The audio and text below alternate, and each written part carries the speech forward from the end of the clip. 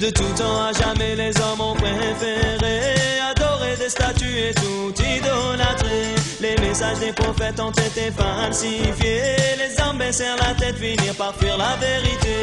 Par sa miséricorde, il nous a envoyé le dernier des prophètes, Mohammed le bien guidé. Miséricorde pour toute l'humanité. Ya Mohammed, tu es le bien-aimé. À ta naissance, oh à toi, prophète, ont baissé la tête. Tu es venu et nous a prévenus. Oh, on délaissez vos statues. Autour de la Kaaba, plus 360 elles étaient. Mais les mécois finirent par les rejeter? La ilaha illallah,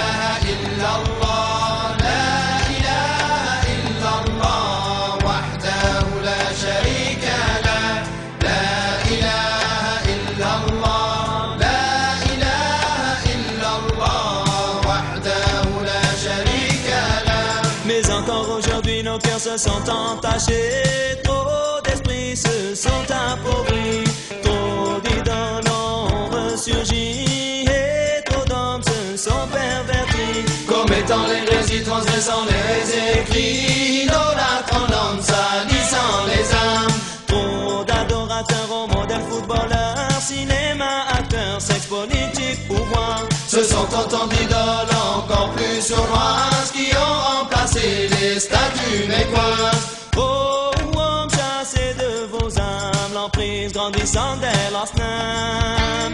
Oh, homme, chassez de vos âmes l'emprise grandissante de l'asnam.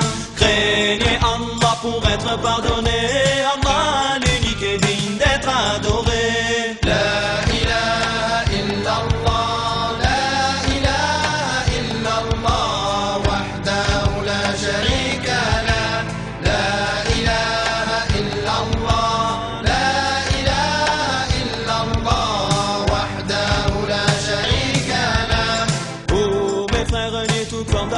Allah ne pénètre un cœur que s'il prononce son nom. La ilaha illallah, Muhammad Rasulullah. Témoignage divin pour unifier l'humanité. Remède pour les cœurs bienfaits du Créateur. La ilaha illallah, Muhammad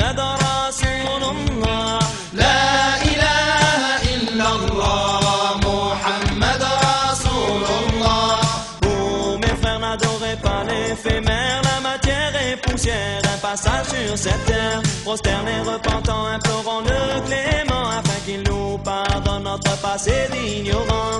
Prosternés, repentants, implorons le clément, afin qu'il nous pardonne notre passé insolent. La ilaha illallah,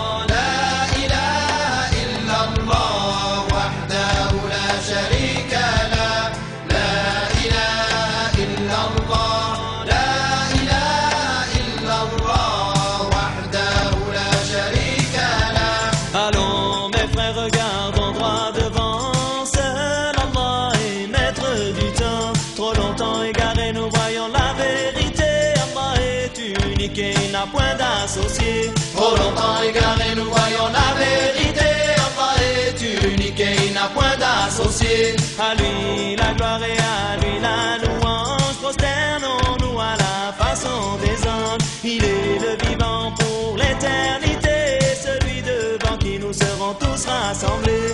Il est le vivant pour l'éternité, celui devant qui nous serons tous rassemblés.